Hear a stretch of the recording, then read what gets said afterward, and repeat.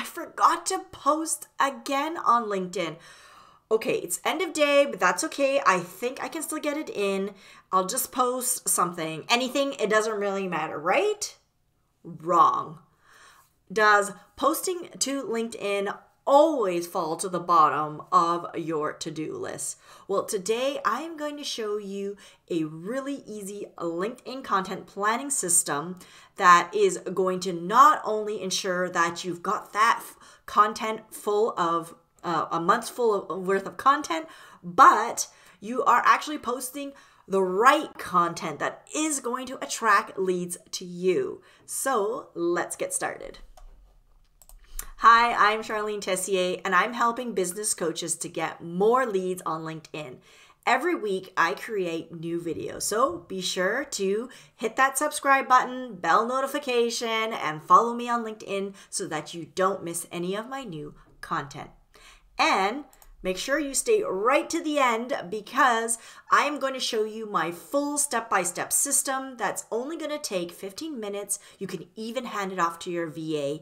And to make it even easier, I'm going to give you my free plug and play LinkedIn content planner so you can do this today. So make sure you stay to the end to grab that. So let's first get started with how much time are you currently spending on LinkedIn posting? Are you spending an hour, 15 minutes, uh, I don't know, a few days? I kind of forgot myself because I've been doing this sort of shortcutted system for quite a while. So I was wondering what's kind of the average for people to create, spend time creating content. And so I went to my handy friend Google search and I searched how long to create LinkedIn content uh, to create a LinkedIn content calendar. And the first thing that comes up right under here, uh, you know, that I love these shortcut answers, is it takes about a week to complete a full month of content. Whoa. I don't know about you, but I can't spend one week just making content for the next 30 days. No, I've got so much stuff to do. I've got a lot on my plate as an entrepreneur, and I understand and feel your pain. But the biggest mistake that most coaches make when using LinkedIn as a way to drive in leads is they essentially post in a very haphazardous way. They are just posting on the fly. They have forgotten to do it. They just post up whatever they can and then they're wondering, you know what, this doesn't work. I'm not getting any leads. And that's because you're not posting the right content for your particular um, niche and for your potential client. And I know creating original content takes a lot of time. And so you're like, how am I going to have time to do this? And I'm going to show you how you can actually do this in a matter of minutes or even hand this off. So, my very first hack is to use a plug and play system. And I'm not talking about those content calendars that you see where it's Tuesday, post a tip Wednesday post, I don't know, your thoughts. No, that doesn't really work and it doesn't work for me. So, this system I'm going to show you is going to work and it's going to be very easy. And most importantly, it's actually going to attract clients to you. Now, first, one of the questions I often get from business coaches is how often should I post on LinkedIn? How many days a week? Um, uh, how what is the best time of the day? How many times per day? And i thought you know what? Let's go straight to the source. Yes there is a source. Let's go there and see. Linkedin i'll just go uh, go right back up here sorry has actually best practices for posting for us content creators and so, if this is what LinkedIn is telling us, this is what they want. And so, if we give them what they want, in theory, that is going to, of course, make the algorithm happy, but of course, make us happy because we are going to get more reach and get more clients. Now, there's a lot of things in here, and we're going to just look at the most key things. The first thing they have, let's see if I can line that up for you, is they want you to mix it up. So they want you to diversify content types so that you can get more engagement. So if you are heavy with text-based posting only or um, uh, um, if you're only video, right, try to do a little bit of a mix. That's actually going to perform better. The next thing that they want, which was really, really interesting and something that many of us miss, is they want you to post consistently. And if you're just getting started, try posting a few times a week. Okay, so that's very interesting there. They said you want you to post a few times a week. So, unlike other social platforms, LinkedIn loves quality posts over quantity. So, you really want to create quality content and therefore you can reduce the volume and just you know post the consistently. That is more important than putting up something just randomly whenever you want or something that's just not very good. So how many days a week or how many times a day even? I wouldn't post more than once a day. Uh, once a day quality post is enough how many times a week? I would go for three times a week. And in, in this example that I'm going to show you, we're going to do three days. And the reason is because that is actually very sustainable. I'm going to show you how to do it in a super sustainable way. Um, if you are completely new at this and you're not sure, three sounds like really overwhelming, do one day. Commit to one day. And if you can commit to the same day and same time, you'll actually notice that the reach will be greater. Um, so we're going to do three days. Now, I'm going to just give you a little caveat here. Some people's like, I want to do five days. Hey, I want to do five days. And I have tried to do five days. And I'm going to be honest, even for me, five days is a stretch. It is a little bit tough. I really got to pre plan. And if I only pre plan 30 days, it's actually not enough if I'm going to pump it out five days a week. So if you really want to do five days, you got to map out a minimum of two to three months. I would say that is the only way to keep that going because you want to be consistent. You don't want to post and then five days next week and post zero and then the next week post one like that's very inconsistent it's better to actually do less and so I hold to the three days. I'm able to maintain that for months on end. That's easy peasy for me. If you can only do one, then uh, do one and maintain that. But consistent, that is really what LinkedIn wants.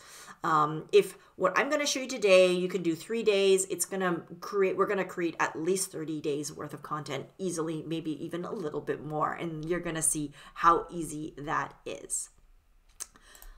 So our second hack is now we're going to start getting into the system is the first thing I want you to do is get some leads while you sleep because posting on LinkedIn can feel like a lot of work and this one post you should do every single week is so easy and it actually gets you leads when you sleep.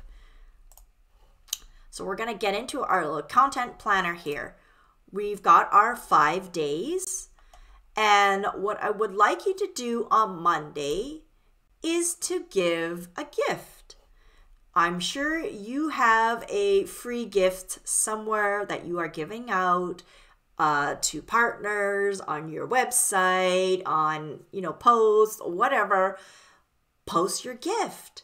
Post it every Monday.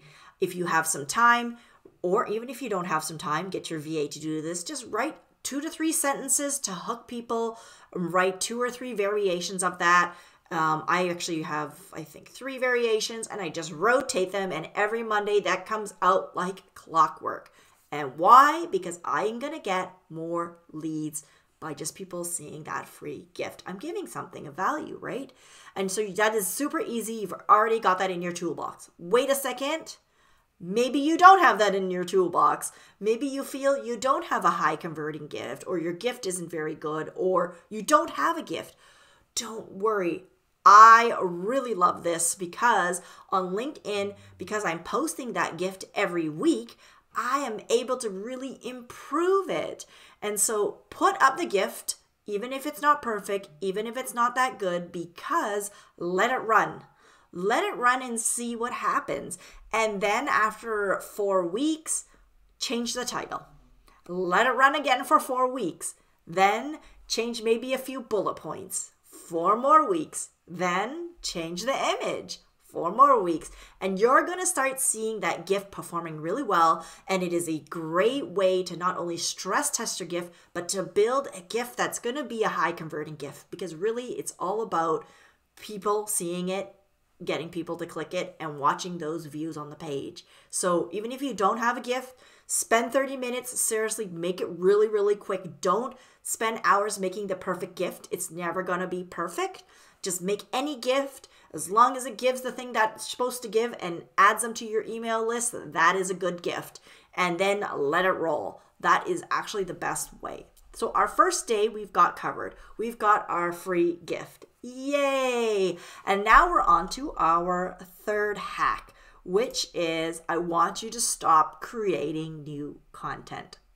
Okay, let's get be honest time now.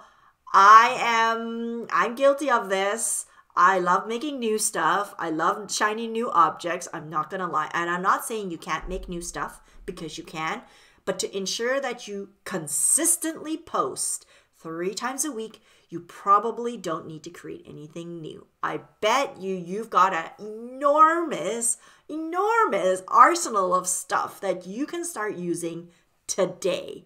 And your VA can pull it for you and get it up. So, what should they pull? Well, let's take a quick look at that. Let me grab my slide again and go to the next one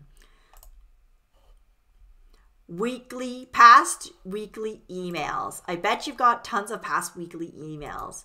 How about images or posts from other social platforms that performed really well? Those are also excellent content. Um, have you been a guest on any podcasts, live streams? I bet you have. Maybe you've created some past live streams or video content that you streamed into your YouTube channel that is also excellent to be used. Maybe you can use some past posts on LinkedIn that didn't perform well. Yes, you heard me right. I want ones that didn't perform well. And this is another little tip is that it's really easy and much quicker to improve upon a post that didn't perform well and make it a little bit better. Just work on that hook for two, three, five minutes and repost it than to come up with something always brand, brand new. And this is kind of one of the mistakes that I see many, many entrepreneurs who are content creators as well or using content to drive in leads is that they are always going to the next thing and next thing and new and new and new and they don't really use what they already have and maximize it. You can really maximize your content. And all of the stuff I just showed you, that whole list, that's your original content. That is you and that belongs to you. So for this um example back to our plug and play system. We've got uh, the third second day sorry wednesday. What are we going to do? We are going to we got our gift on the first day use a past email. So if you've got a list and you are creating um, of course weekly emails for your list usually those emails are excellent excellent excellent. Why? Because they're usually fairly long and you can splice them up into two or three or four posts because they're fairly long. Uh, the other reason is those emails you are writing to your very warm audience. So you have a lot of your personality, you're giving a lot of amazing value, you're giving kind of your best stuff, aren't you? So give your best stuff, splice it up, and post it onto LinkedIn on Wednesdays. Again, if you don't have time, who can do it for you? Your virtual assistant can splice it up. It's your voice. You wrote it. So let them splice it up. You check the draft, schedule it out, and boom, it's ready. Wait a second, you're wondering about scheduling? Did you know LinkedIn has a new feature that you can schedule directly into LinkedIn? And if you want to know how to do that, I am, well, move my little hand there. There we go. That's where you're going to be able to get the video on how to schedule a post directly right in LinkedIn without using third party software like Buffer or Hootsuite. Uh, so we've got two now. We got one more to go. What's our third one, right? What else can we do? On Friday, there are many different things you can do. Uh, one of the things you can do is, of course, put new content if you want. Um, you could live stream. That's what I like to do. Uh, or put a video. Uh, that's kind of my jam, may not be your jam. What I'm going to share with you today, though, is something called OPA. Getting into other people's audiences, OPA. And this is a fairly underused kind of hack or tip. And I think it's really great because that's what we want. It's not only are we posting on LinkedIn, and of course, our followers are going to see it, and our connections will see it, and we'll get some engagement. Okay, yes, great. But we really want reach. We really want to reach other people's audiences, new people to discover us, and to find us on LinkedIn. And a really easy way to do this is to use those um, guest interviews that you were on. Were you on somebody's guest podcast? Maybe on somebody's guest live stream. And I'm pretty sure the day that they released it, they sent you a little email with a little image and maybe even a little bit of text that you could share to your audience. And you shared that. That was great. And of course, they shared it to their audience, but that was months ago. Why not post it again and tag them. Tag that host who interviewed you. And they are going to be so delighted. They are going to see that on their LinkedIn notifications that, hey, Charlene tagged me and reposted my podcast. Oh my gosh, that's so great. I want to reciprocate. What am I going to do? I'm going to either repost what I just, what Charlene just posted. I might uh, respond as well. And get more reach and of course probably reshow that on my own that's the reshare or the repost of my own because i want more people to see my my podcast right? And i want my guests to get more reach and their audience gets yet another hit of exposure uh, from you. And that's really easy to do and it's not a lot of work. And you can also if you don't have you know guesting that's a little bit of some people's concern then if you are posting on other social platforms, another tip is to use those. If you're posting on Facebook and Instagram again, try and repurpose them and put those on the Friday. So you don't have to keep coming up with brand new stuff. Now I know what you want. You want the gift. You want the free thing that I'm going to give you because it's going to shortcut you and it's going to be set up in a way that you can even just hand this video and this free gift over to uh, your virtual assistant.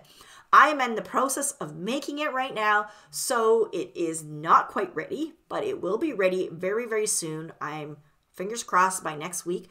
Uh, it's almost done, so let me know in the comments. Just drop it down and say, give me my free gift, and I will be sure to send you the link right away. So let me know in the comments that you want it, and I will be sure to send that to you. Well, till next time, I'll see you then.